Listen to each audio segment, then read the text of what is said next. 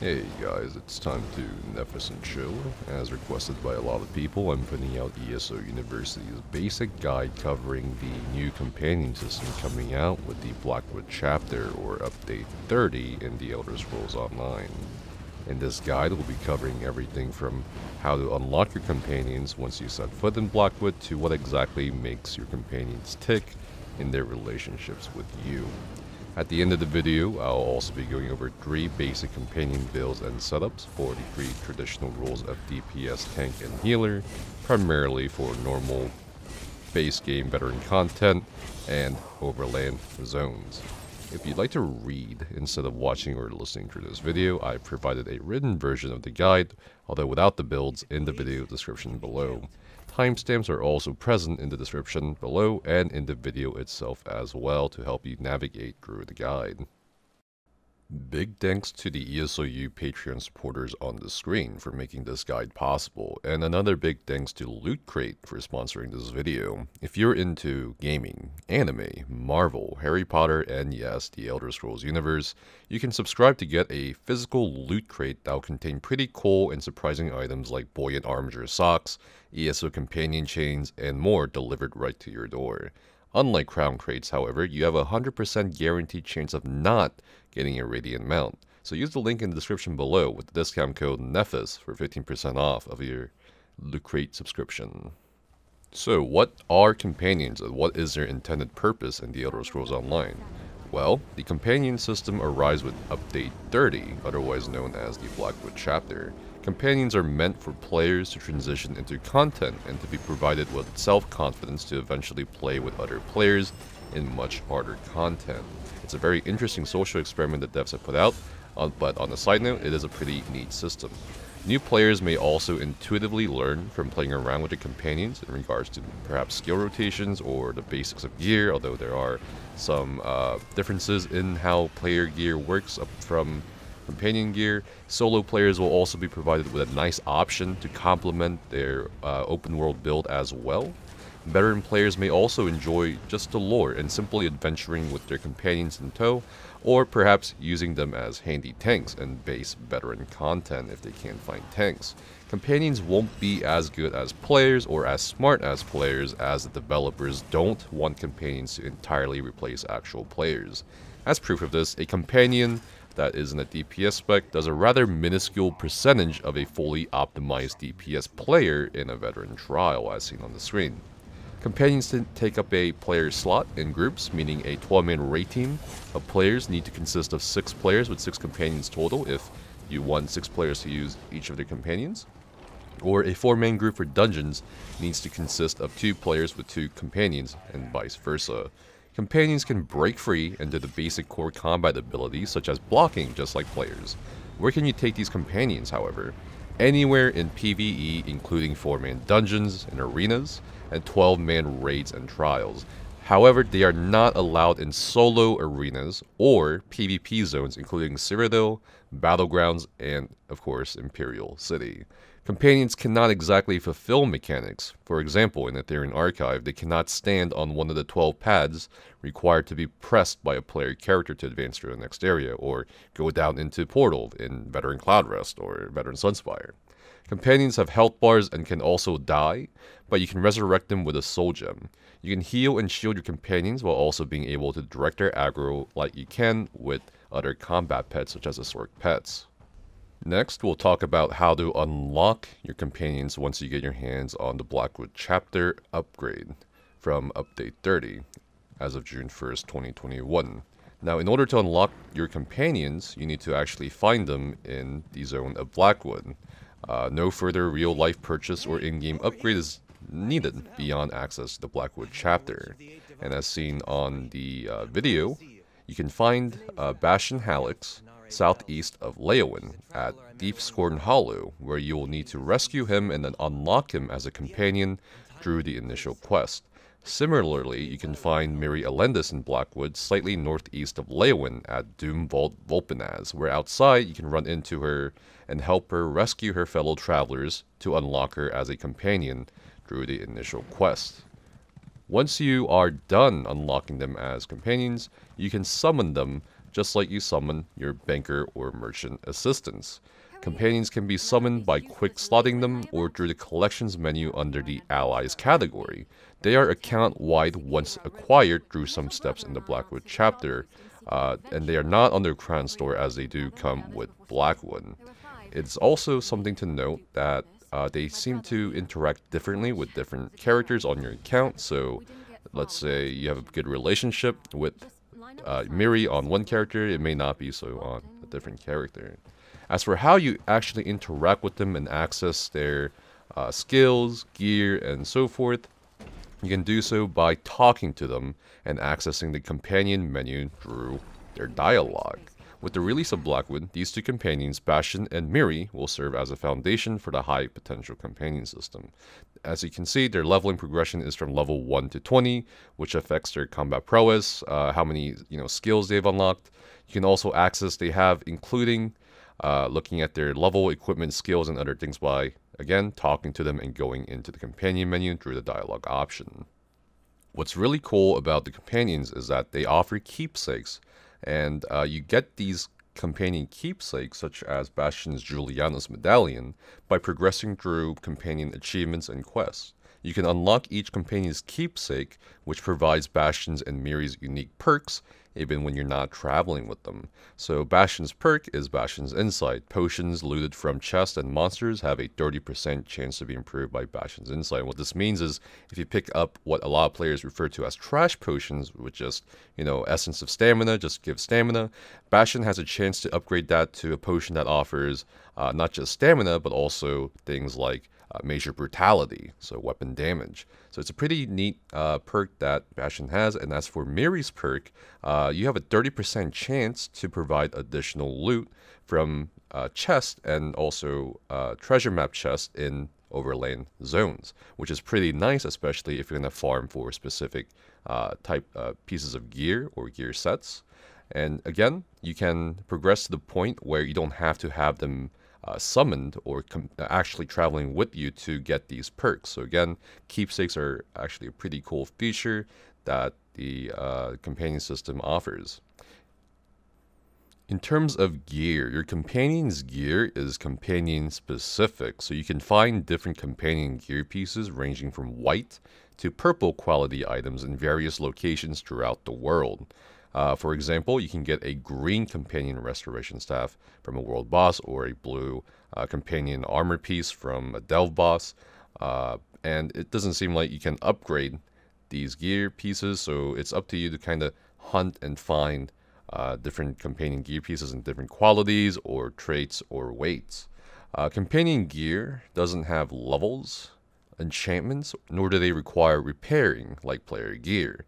However, just to start out, you can purchase basic white quality companion gear from NPC clothiers, blacksmiths, and woodworkers should you need gear. You also cannot wear your companion's gear, and you cannot give them your player gear. Unlike the Elder Scrolls V Skyrim, you cannot also make your companions carry all of your stuff for you. You are, after all, each other's companions of an equal level. Uh, the companions item category has also been added to the inventory UI with update 30. And there's also different types of companion gear we'll be talking about here. Note that you can actually mix and match different pieces of these gear pieces, uh, whether it's an aggressive helmet piece with a vigorous chest item piece, as these aren't really item sets, but simply item pieces that have different traits that buff specific aspects of a companion setup, whether it's more damage, more health, or more ultimate generation, and so forth. Similar to players, companions have access to uh, a one skill bar, three jewelry slots, 7 armor slots. They also have access to their own companion versions of skill lines, which we'll also kind of examine, including weapon skills, armor skills, guild skills, and class type skills, along with at least one racial passive. Companions, however, cannot bar swap, as I mentioned, they only have one bar. There are a total of 9 item traits or types for companion gear. Note that the value of traits will be doubled on two-handed weapons when compared to one-handed weapons just like player weapons. However, armor pieces like chest, leg, and head do not follow the player gear rule of increased trait effects such as infused. The nine traits are Aggressive, which increases your damage done by a certain percentage for your companion. Augmented increases the duration of the companion buffs and debuffs by X percent. Bolstered, which reduces damage taken on your companion by X percent. Focused, which increases critical strike rating by X uh, amount, not percent, for your companion. Prolific increases your ultimate generation on your companion by X percent. Quicken reduces the ability cooldowns of your companion by X percent. Shattering increases the penetration of your companion by X. Soothing increases your healing done by X percent. And Vigorous increases max health of your companion by X percent. In terms of companion's skill rotations, if you're wondering how it exactly works, your companion's DPS, tanking, or healing rotation is going to be based on the order of the skills arranged in their skill bar. That's exactly the same as a player's skill bar, except they'll be doing it in order. Some skills will also have prerequisites that need to be fulfilled, such as a companion being below a certain amount of health for them to use, like a heal. Uh, you can also manually use a companion's ultimate ability by pressing a key binding. On the mouse and keyboard, the default button is Y. Take note that every companion skill has a cooldown as opposed to a global uh, cooldown per cast for players. This will force you to think even more about what skills to slot for your companions uh, for different situations when going through their setups to complement yours. Companions' unique class skills are heavily inspired or drawn upon from player class skill lines, whether it's a Nightblade or a Dragon Knight for Mirri and Bastian respectively. Did you need something? We're going to be looking at Bastian Hallix's class skills and racial passive. Uh, his one racial passive is Tough, which increases his max health by 3% and damage done by 3%, kind of making him kind of ideal for both tanking and DPSing, uh, one or the other, from what I've tested on the Blackwood PTS. Or, uh, PTS. His class skills include Ardent Warrior, Draconic Armor, Radiating Heart sort of similar to a player Dragon Knight's uh, class skills. His only ultimate available at the moment is Unleashed Rage under the Ardent Warrior skill tree. It basically builds up Rage, then unleashes it in a devastating explosion round. I think we've kind of run into a lot of mini bosses or bosses in dungeons or uh, overlaying content where we've seen this kind of ultimate or ability uh, part of the NPC bosses. Uh, the explosion deals X flame damage to enemies and stuns them for 4 seconds, while also releasing 4 lines of fire in a cross formation that deal an additional X flame damage to any enemy they hit. Just a side note that the uh, stun does not affect bosses. Crack Smash, and I would like to believe this is sort of an inside uh, joke between devs. Uh, Crag Smash is basically uh, player's Stone Giant or Stone Fist. He hurls a chunk of rock at an enemy, dealing an X amount of physical damage. In terms of the DPS output, I wasn't too impressed by the Crack Smash, but uh, that's, uh, I guess, up to you. Uh, Fiery Flail. Bastian Hallix lashes an enemy with flame, dealing X flame damage and setting them off balance for 7 seconds. This is pretty cool skill because the off balance, uh, once they implement more off balance uh, you know, nodes in the Champion Point 2.0 system, or uh, maybe you're struggling with sustain and you have to heavy attack targets that are off balance. This is a pretty cool skill, and I, I, I really enjoyed it, surprisingly. Uh, Scorching Strike.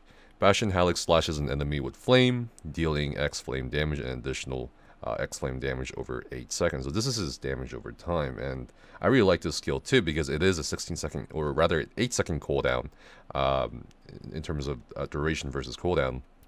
So it, by the by the time you you know put this in the first skill slot and he he's gone through the rest of his uh, skill bar in rotation order, uh, it should be roughly up by the time he's done. And uh, Draconic Armor, Drake's Blood.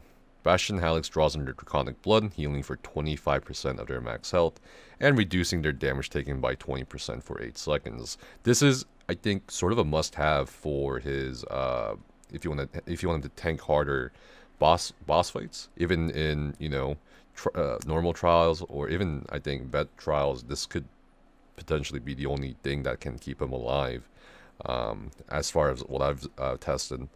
Um, but yeah, it, it's it has a prerequisite. It's used when Bastian Hallix is below 75% health, which is pretty neat. You don't want them to keep spamming it. Uh, crushing Claws. Now, Bastian Hallix calls for talents from the ground, which immobilizes enemies and deals X flame damage to them for 4 seconds. This is more of an AoE uh, ability. Um, and I think, again, it's going to be situational depending on what you want to tackle on. Do you want to tackle on a world boss without ads, or do you want to tackle on uh, normal dungeons? And that's going to be the deciding factor for uh, some of his uh, skill setups in terms of DPSing. Blazing Grasp, and this is probably a really cool one too. Bastian Hallix launches a fiery chain to grasp and pull an enemy to them. This is only used when they're not CC'd and is further than 10 meters away. So if you're struggling, uh, I guess, uh, to manage ads in a dungeon or you need, you know, help stacking them, yeah, I mean, Bastian's got you. There's a cooldown of 8 seconds, which isn't too long considering um, that he has to go through some part of his rotation to get back to this. So it's pretty cool. Radiating Heart Kindle. Now, Bastian Hallix, this is like the uh, Cauterize from the Dragon Knight player class skill line. Uh, Bastian Hallix launches a Searing Fireball at themselves or an ally to cauterize their wounds, healing for 7,800 health at base. And this is only used when Bastian Hallix or an ally is below 75% health. And this is sort of the healing tree if you want to if you want to spec him as a healer. Um, I think for sure after the uh, last round of changes or updates or adjustments to the campaign system, the campaigns are a lot more reliable as a whole at tanking, at tanking and uh, healing um, themselves and handling them even well, more than well. I think I think it's better than some players uh, at uh, tanking and holding aggro or even uh, healing players. So it's gonna be pretty interesting to see how this all pans out. Basalt Barrier. Bastian Hallix calls the Earth to their defense, granting a damage shield for them and their nearby allies that absorbs X damage for 6 seconds. While the damage shield holds, healing received is increased by 15%. This is a pretty big deal because uh, it's basically the uh, player version of Igneous Shields.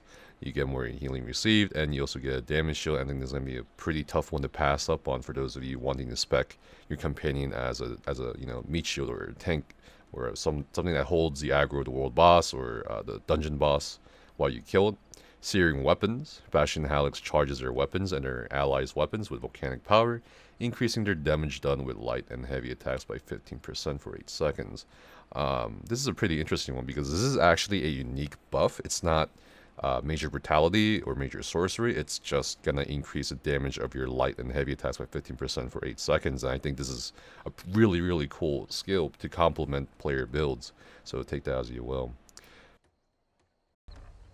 Alright, and now we're going to be looking at the class skills of Mirri Elendis and kind of examining them as we did with Bastian.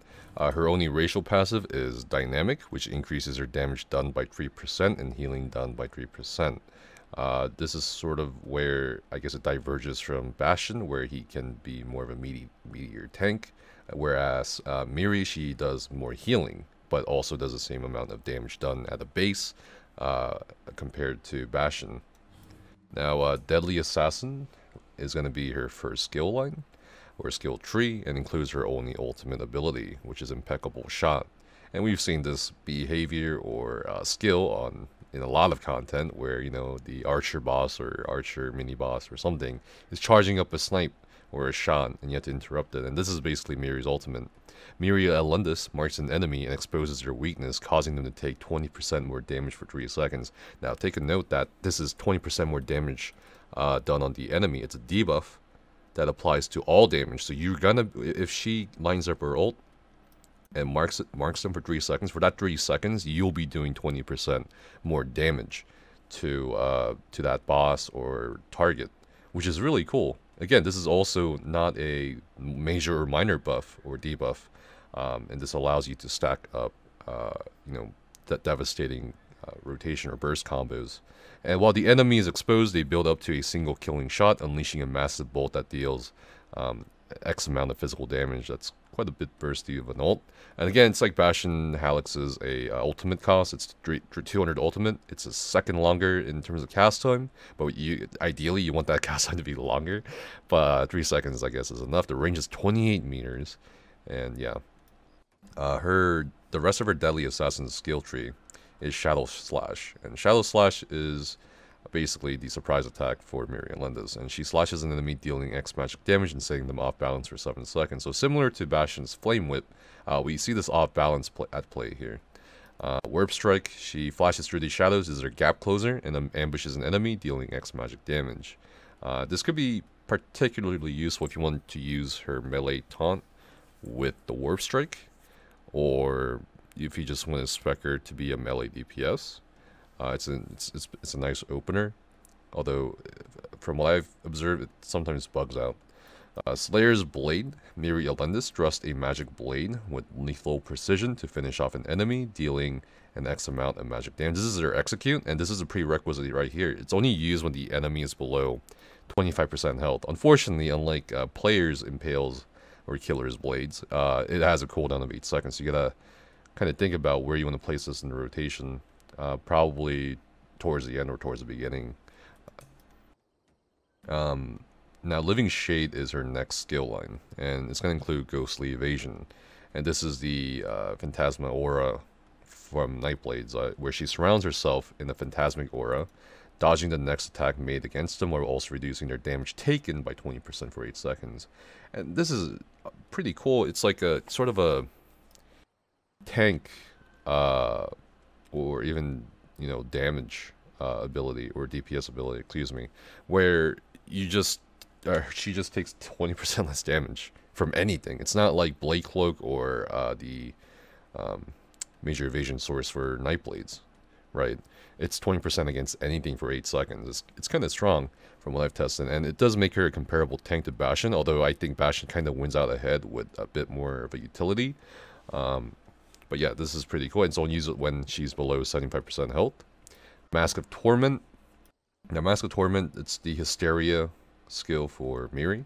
Uh, she just, you know, CCs enemies for, and that CC lasts for 4 seconds, has a cooldown of 8 seconds. Twilight Mantle, uh, she basically heals herself for 25% of her max health and becoming invisible for 3 seconds from, again, it's kind of a little bit less uh, than Bastian's uh, healing because this, again, scales off her max health, and if you stack, uh, you know, health uh, companion gear pieces, uh, like Vigorous, excuse me.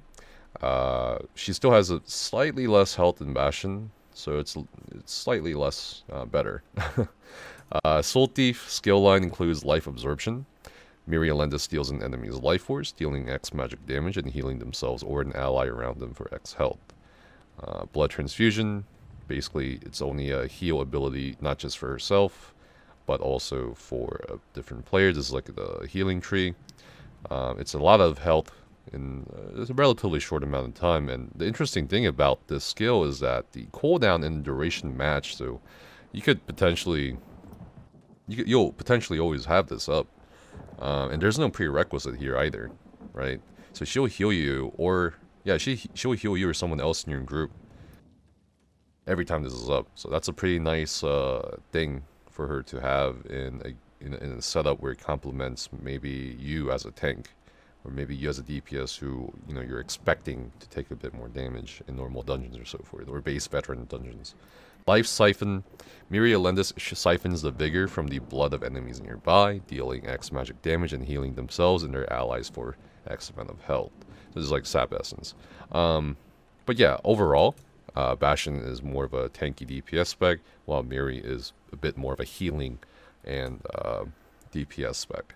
But they, they can both do tanking as well or any role, so long as you uh, set up their you know bars in a, in a in a way that makes sense, and also set up set them up with gear that also makes sense in relation to what they you what what you want them to do. We're also going to take a quick look at the weapon skill lines, the armor skill lines, and the guild skill lines. And this is universal across both companions. It's not like the class skills where it's unique. So keep that in mind. So if you want your companion to use a, you know, two-handed, uh, two-hander, maul, greatsword, uh, or battle axe, you have access to staggering swing, which uh, is basically dizzying swing and stuns your target while dealing an X amount of physical damage. Uh, on the side note, it also knocks them back 4 meters, unlike uh, Dizzying Swing nowadays. Sunder, uh, Mirri slices all enemies in front of them with a mighty swing. This is Brawler, dealing X amount of physical damage and an additional X amount of physical damage over 8 seconds. That's a nice dot. Uh, Sever, she spins around and strikes an enemy down, and this is only used when the enemy is below 25% health. This is Executioner, uh, if you want your companion to use a two-hander as, a, as the main DPS output. In terms of the one-handed shield skill line, this is going to be mainly just for tanking, and Provoke is uh, going to be the companion's melee taunt. Uh, you know, they thrust their weapon with disciplined precision at an enemy, dealing X amount of physical damage, and taunting them for 15 seconds. Uh, they have a cooldown of 12 seconds, so they're not going to be able to really spam taunts or try to get as many ads as possible. I think this is kind of be this is really good for like single target fights, but it can get it could potentially get a little dicey for some of you out there who are trying to solo or at least duo uh, your your base bet dungeons um, with your companion. But uh, as a pre as, as a sort of neat side note, uh, it's used when the enemy is not already taunted. So that's going to be highly unlikely, though. I mean, depending on the how many ads there are, uh, where they will taunt everything. Uh, Bashing Bulwark has a cooldown of 16 seconds. It's kind of their like gap closer with the one-handed shield uh, with a stun. Um, uh, it, it kind of depends on what kind of fight you're in, but I haven't really gotten too much of great usage from this. On guard, and this is the uh, defensive stance for from players for um, you know the companions, where they get a damage shield that absorbs up to 25% of their max health for six seconds, and uh, that's anything projectile, uh, direct damage, whatever. For the next skill line, we have Dual Swift Assault. Um, this is Rapid Strikes. Companion floods an enemy with steel, battering them in 5 consecutive attacks at each deal X amount of physical damage. Spinning Steel launches themselves in the lethal spin. This is a spin, you know, spin to win. And of course, this is uh, there's no prerequisite for this one. So it's not really an execute or how players use it but it does still deal triple damage to enemies below 25% health. It has a cooldown of 16 seconds, so that's going to be interesting. Uh, Razor Cape, she envelops them. Uh, they envelop themselves in a ring of floating razors, dealing X physical damage to nearby enemies every two seconds for eight seconds. Uh, it also shields them from their from attacks, reducing their damage taken by 20%. So potentially, if Bastian, you know, Bastian doesn't have ghostly evasion, um, that's something that people can consider bow skill line piercing arrow. Uh, this is a snipe, and this basically deals damage every 8 seconds. Uh, trick shot, this is uh, acid spray, fires a burst of arrows to pin enemies in front of them. It's an, it's basically uh, bombard, where they Im immobilize the ads in front, so potentially pretty nice utility, DP damage skill for a companion. Viper's Bite, she shoots an arrow covered in Bandari poison, similar to the poison injection tool tooltip, uh, dealing X poison damage and additional X poison damage over 8 seconds. So that's a nice dot as well from the bow skill line. And we got the Destro Staff skill line, Destructive Blast. And each type of uh, staff, Inferno, you know, Frost, Lightning Staff, has a new effect or a different effect. Uh, all, sta all staves will blast an enemy with magic, dealing X amount of magic damage, but a fire staff will knock a target back, provided they're not an elite ad or a boss, back 8 meters and stun them for 2.5 seconds. Frost Blast taunts them 15 seconds, so that's a potential uh, workaround for if you're not satisfied with the, uh, you know, cooldowns for one hand shield or even the undaunted taunt, which we'll explore here pretty soon. Uh, that's that's potentially another taunt you could use. Uh, shock Blast deals an additional 4017 shock damage to all enemies around them. Uh, Elemental Barricade, almost with Blockade, like player skill. Uh, basically a wall in front of them, dealing X amount of magic damage over 8 seconds, and again, the duration and cooldown match. Arcane Nova, and this is Impulse. Uh, she releases a surge of, of magic to enemies around her, dealing X amount of magic damage. Fire Nova applies the burning status effect, Frost Nova applies the chill status effect, and Shock Nova applies the concussion status effect. And I think depending on your setup, um, your DPS uh, setup could definitely benefit from either the the chill status effect or the concussion status effect, right? So for stand builds that, you know, won't have an ice staff or someone to apply minor brittle, right? Because minor brittle comes from chill. To give you that extra crit damage on target, you can potentially put Frost Nova on your companion, or if you want uh, uh perhaps a um, somewhat not too high, obviously judging from the cooldown and the skill. Uh, if you want some minor vulnerability from concussion, then yeah, you'll go with concussion. I, I think Fire Nova is not that great.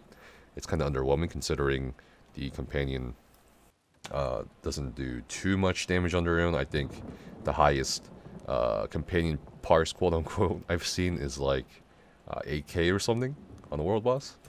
And the rest of staff skill line is going to be Rejuvenation. Uh, starting with Re Rejuvenation, Mending Incantation, and Mystic Fortress. And Rejuvenation is Rapid Radiating Regeneration. Um, just a nice heal over 8 seconds. That's a 4 second cooldown after its duration is over. Uh, Mending Incantation, it's basically combat prayer without, you know, the uh, minor berserk. However, the, bless the blessing that they slam down also grants 7,000 spell and physical resistance for 8 seconds. This is pretty huge because like a lot of the uh, companion skills we've seen so far, these are not classified as major or minor buffs or debuffs. So these these will stack. So I think the Resto Staff is actually looking pretty strong here for those uh, you know glass cannon builds that need that mitigation. I mean, 7,000 spell and physical resistance is not nothing to really laugh at. uh, unfortunately, has a cooldown of 8 seconds if you want to compare the 8 second duration uh, in comparison to the uh, 16 second cooldown. Uh, Mystic Fortress calls under staff strength to protect themselves or the lowest health ally, granting a damage shield that absorbs 23,400 damage. That's basically a like a little barrier. But this is only used, however, when an ally or herself is below 25% health. And there, I, I think there will be some usage for this for a lot of specs on companions. But ideally, I think most players will not really want to uh, travel that dangerous line uh, over 25 or under 25%. In terms of armor skills and passives, you only have one skill and one passive for the companions. Pretty easy, pretty simplified, uh, very uh, underwhelming compared to players, and I think that's kind of intended for newer players or less inexperienced players, uh, experienced players to kind of, you know, kind of delve into uh, while they also take care of themselves. So that's pretty cool. Uh, haste. Uh, this, of course, just a heads up that each armor ability can only be used if your companion has at least five of the respective armor weight pieces equipped. So you need five light pieces equipped on your companion for them to be able to use haste, five medium armor pieces on your companion for them to use vanish, and vice versa for the heavy. Uh, haste is basically going to reset the cooldown of all their other abilities outside of haste. Uh, otherwise, that'd be kind of OP. Uh, flow, the passive, increases healing done by 1% for each piece of light armor equipped. Uh, it also decreases the cost to break free um, for your companion per light light armor equipped. For medium armor vanish, uh, they just basically go invisible for uh, six seconds while they while they also heal the full health. So that's kind of neat. Uh, it's a 36 second cooldown though, um, and I think every yeah every armor ability has a 36 second cooldown for good reason. Um, and this is only used when she's below or he or she is below 50% health. Uh, the medium armor passive is flexibility increases their damage done by 1% for each piece of medium armor, decreases the cooldown of roll dodge by 5% for each piece of uh, medium armor equipped. Heavy armor, it's going to be bulwark. Uh, they become an unstoppable defender, blocking and reflecting all attacks for 5 seconds. So they do block on their own outside of the skill, but if you want them to block for a longer duration against a, uh, you know, a, a boss, um, then yeah, it's possible. Uh, this is only used when the companion is below 75% health and is fighting a difficult monster. I've actually tested this difficult monster part. It, uh, it only seems to really um, consistently activate on bosses, whether it's a world boss, delve boss, or yes, even a uh, normal vet dungeon boss, or even a normal trial boss. So just keep that in mind. Firmness increases healing received by 1% for each piece of heavy armor equipped. Uh, the current bonus obviously 0% because she doesn't have any heavy armor.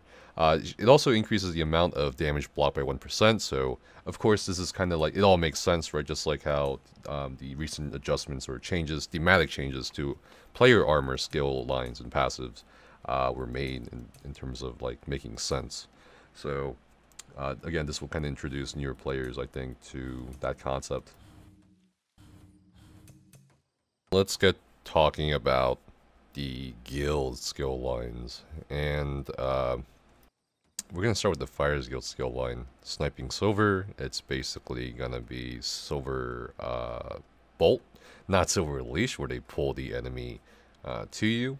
So it's going to just deal an X amount of physical damage, while dealing double damage if their target is an undead, Daedra, or werewolf. Ritual Salvation is a circle protection, lasts for 8 seconds, uh, has a cooldown of 8 seconds essentially after duration. Uh, it puts a rune down, and if you stand within the rune, it reduces the damage both your eh, both you and your companion take by 20%, or anyone within that if you're in a group uh, with other players. If the attacker is an undead, Daedra, or werewolf, the rune reduces damage taken by an additional 20%. And again, this isn't minor protection, like circle, like the player's circle protection. So it can stack. So th this is really cool and really interesting. How we continue to see this theme um, of buffs and debuffs not stacking, which I think we'll definitely see uh, practical application of. Biting Trap, uh, she sets a sharpened blade trap in front of them, which takes one and a half seconds to arm, basically. You know, you know, the, our uh, uh, trap, and lasts for eight seconds. When an enemy triggers a trap, they're immobilized for four seconds. If the enemy is an undead Daedra werewolf, they take an amount of physical damage. And this is a, this, this seems a little wonky from what I've kind of tested. So hard to say if this is going to be actually useful or consistent, at least, in terms of uh, damage.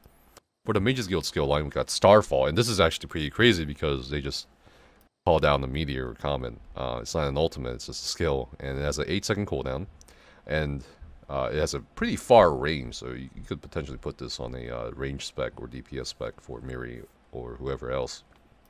Um, deals X flame damage and reverse entropy. This is kind of a play on uh, our player skill entropy, right? Structure entropy degeneration.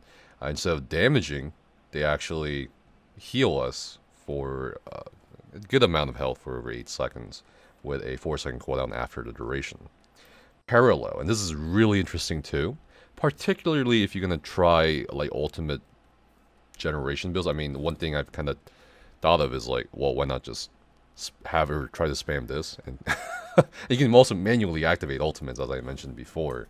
So it, it's going to be pretty interesting to see what players can come up with with parallel. I mean, that's 50 ultimate every 16 seconds. So that's going to be pretty interesting.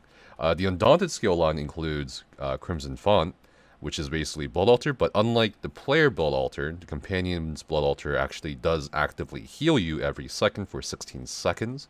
There is a pretty long cooldown, however, uh, it's a 20 second cooldown after duration. Um, but then you also do get access to a synergy for 16 seconds that heals you for 50% of your max health should you need them. So it's a pretty powerful skill, so I can see perhaps the reasoning as to why the cooldown is such so long compared to the other ones. Savage Instinct, this is the range taunt for companions. Uh, this also provides a synergy, much like Inner, Inner Fire. Um, and it deals X amount of magic damage and taunts the enemy for 15 seconds. However, the cooldown is uh, pretty long. Again, 36 seconds. I mean, compared to compared to provoke, it's uh, it's it's it's a little it's a little too much, I think.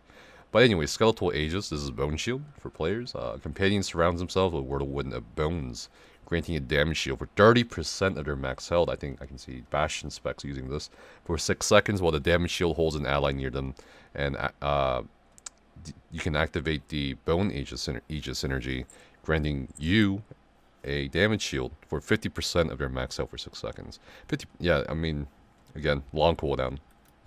But yeah, that's pretty much it. On a side note, uh, how do you level these skill lines? Well, it's pretty simple. Uh, these are pretty cool skills, right? So you want to level them up. Uh, if you want to level up the class, you only just basically have to uh, basically just get XP and upgrade the combat prowess or combat level of your companion. Uh, and these will pretty much naturally rank up. For weapon skill lines, you need to, just like how we do it as players, you have to have them equip these specific weapons and then just kind of grind some XP. The really cool thing about companions though, it's not too grindy at all uh, in terms of XP gain. And we'll talk more about XP gain here pretty soon. Uh, in terms of light armor, of course, you need uh, you, the more light armor pieces you have, the more XP you'll get towards light armor, and so forth with the other ones. Uh, the guild skill line leveling is actually pretty interesting, and I think probably the perhaps the most grindy aspect of the companion.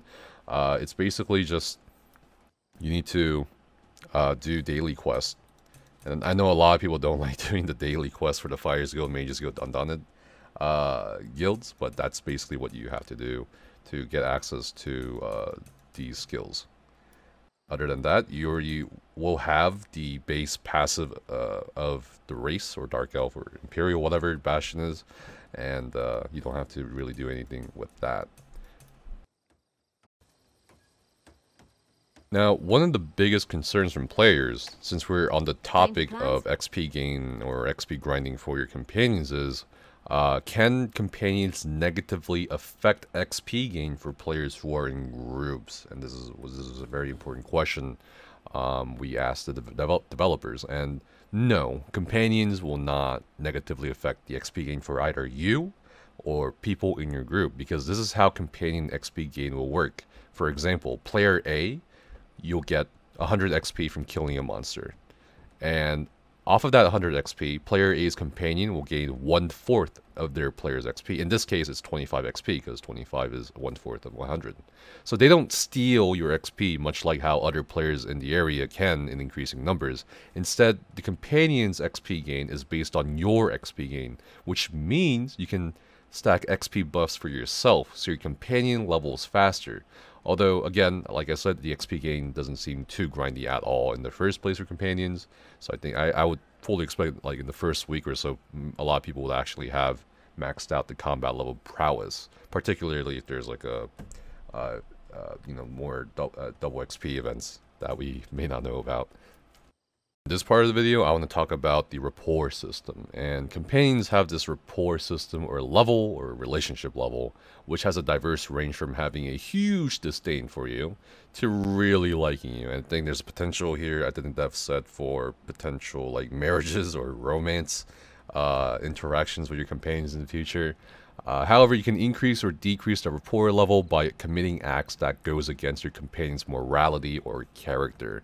For example, you know, Bastian uh, he's more of a noble character and won't like you pickpocketing people, but Mirri here, she's a bit more roguish, kind of like a uh, like a more tame version of Naryu, and she'll be fine with that. Uh, both companions will have their own dialogue options for their background quests or stories, uh, random quips as you adventure together, and other neat features. So uh, even during combat, they'll say stuff like, if I get heavy attack I don't block it, uh, Bastian or Mirri will be like, hey, whoa, watch out, right? it's pretty, it's pretty cool. Um, however, note that you can actually adjust how much uh, your companions can talk, and it's under your settings and gameplay. And you can actually set them to like, you can just tell them to shut up, or, you know, talk normally, or maybe you really like them, or you really just like hearing them, right? Uh, personally, yeah, I, normal is fine for me. Uh, now, the demeanor and how fast the companions uh, can temporarily desummon themselves or leave will or leave you will change based on your rapport level. So let's say they really hate you, they'll just randomly go away. and actually, if you have very low rapport with your uh, companions, it may also be unavailable to be summoned. So there is a quite a penalty to uh, you know having a really bad relationship with them, just like you know how there's consequences for you having a bad relationship with someone in real life. Now we're going to be talking about what exactly makes uh, Mirri or Bastian tick, or the basics, because not everything has been uh, found yet by myself or other content creators. So this is just going to be a basic list. So there may be more things that, you know, may piss your companions off or uh, may uh, force, uh, not force, may, may make you uh, be more likable to them. So for example, Bastian, if you want to increase his rapport with you, uh, you just need to visit Eyevea, read a book from a bookshelf, do a Mages Guild daily quest, harvest the Psijic Portal, scry for antiquities, visit Artaeum, uh, and if you encounter you know bandits or cultists in those random overland encounters, uh, he also will see an increase in his love for you. and if he also killed a worm cultist at the beginning of a Dolmen event, he'll also start to like you even more. However, uh, what if you don't want him to like you, or what if you don't care? I guess, well, you can do the following. You can murder an innocent friendly NPC, uh, use the Blade of Woe on an innocent or friendly NPC, uh, steal items, pickpocket NPCs, or even, like, you know, loot thieves' troves in, in Overland. Now let's talk about what makes Mirri tick. Uh, Mirri's rapport will increase should you do the following things such as visiting a Daedric themed delve or public dungeon. If you do a Fighters Guild daily quest, her report goes up. Uh, if you craft an alcoholic beverage, her uh, report with you goes up. If you also, just like Bastian, read a book from a bookshelf, she takes a liking to you as well, as she is a curious type. Uh, she also likes it when you excavate antiquities as opposed to scrying for them. Uh, she also likes the fact that you may steal drinking and scholarly uh, related treasures. Um, and she also likes it, it's kind of freaky, uh, when you kill goblins. And she also likes it when you kill large snakes. Uh, Lamia are not included. Um, and she will start hating you or disliking you more should you do the following things. Harvesting insects. She doesn't like the fact that, you know, squishing bugs is a very immoral. Uh, killing an innocent or friendly NPC, just like Bastian, using the Blade of Woe. Uh, key point there. Visiting the Dark Brotherhood Sanctuary in the Gold Coast. She doesn't like the Dark Brotherhood. And completing a Dark Brotherhood Sacrament with her active. She doesn't like that either. In terms of customization for your companion, they can wear anything outside the polymorphs. So anything you get from the crown store or the game in-game rewards, you can dress them up in. You can also visit an outfit station to, uh, again, dye things. Uh, you can also assign them specific mounts. So any this applies to any crown store mount or any uh, in-game mount that is reward, like the Godslayer mount. And when they do mount, they mount at the same time as you, and they can easily keep up with you while mounted.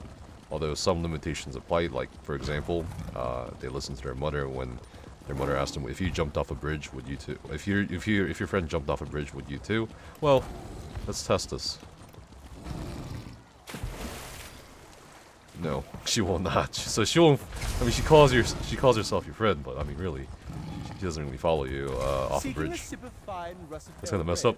But anyway, yeah, she uh, can follow you. She doesn't.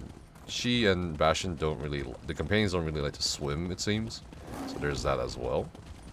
Uh, as another note, they will also sneak. Should you go into stealth mode, and they'll automatically be in stealth mode, and if you want to sprint, they'll also sprint with you. And of course, just like house other house guest NPCs, uh, you can put your companions in your houses. Uh, however, you can't really access their companion menu and assign gear and stuff. You can only just talk to them. That's pretty much it as far as uh, companion customization goes in terms of outfitting, style, fashion, and housing. And now, as promised at the start of the video, I'll be sharing my three general setups for the traditional roles of tank, healer, and DPS for companions. And these are pretty general setups that I really like. And uh, of course you can modify or swap out skills or even the gear traits themselves should you need to. But uh, this is what I've pretty much come up with after some hours of testing on PTS and comparing uh, the NPCs, and uh, rather companions, and the damage. So the first build I want to share with you is going to be Bastian's tank build. Uh, between Mirri and Bastian, I, I found Bastian to be a bit more comfortable at tanking.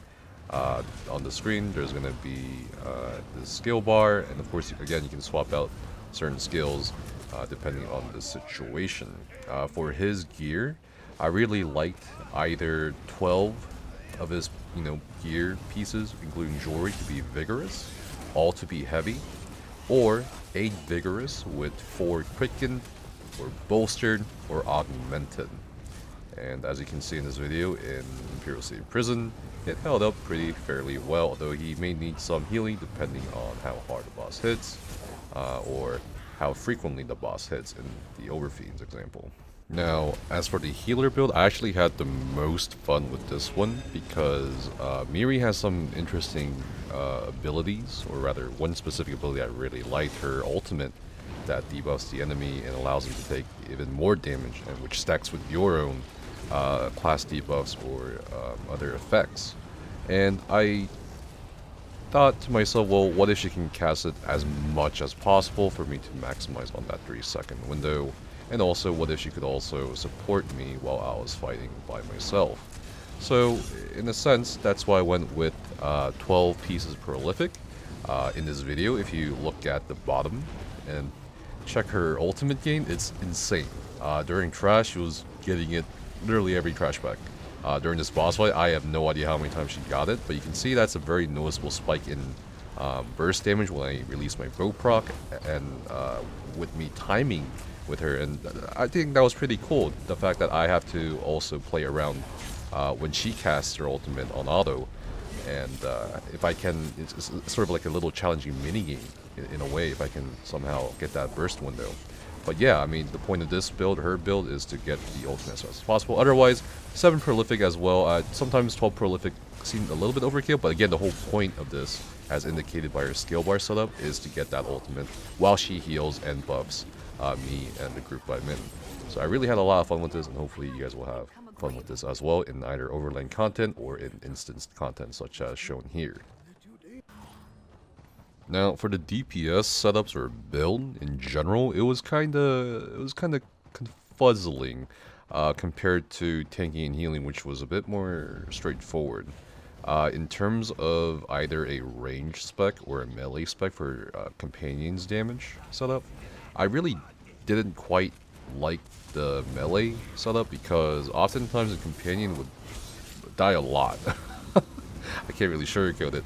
Uh, whereas the ranged uh, range setup for Bastian or Mirri, whichever you decide to go with, I do recommend Bastian uh, since he does uh, seems to have an affinity with uh, certain uh, setups, including industrial stuff it, it, was just a bit more consistent, as you can see in this video, right? I mean, if he was melee, he probably died to the, the jump smash by this boss. Um, but anyway, in terms of gear setup, I really couldn't pinpoint if the crit rating was really worth it. Uh, I don't think the crit rating is really worth it in terms of the gear trait. One, because of how the companion skill rotation works. Uh, you don't really have a consistent output of DPS or you know damage casts. Uh, whereas aggressive in terms of a as a as a damage trait is a bit more consistent because uh, I mean most of the damage coming from companion is in burst, whether it's in the form of a shooting star or something else. Um, and the reason why you want 5 light with 2 medium is with 2 medium you do a bit more damage, whereas 5 light you just want the access to the haste armor ability, which will basically reset the cooldown of your abilities, and uh, the Destro Staff, along with your class abilities, definitely can have uh, long cooldowns that interrupt your companion. Uh, in terms of skills, you can go with what I have on the screen uh, in the video, in terms of a uh, you know medium or rather melee DPS setup for your companion, I would highly recommend 12 aggressive still with seven medium pieces because uh, it's just gonna be it's kind of similar to players not in the sense of passes, but um, in terms of melee, I mean if they're gonna go in as a glass cannon, they might as well do as much damage as possible.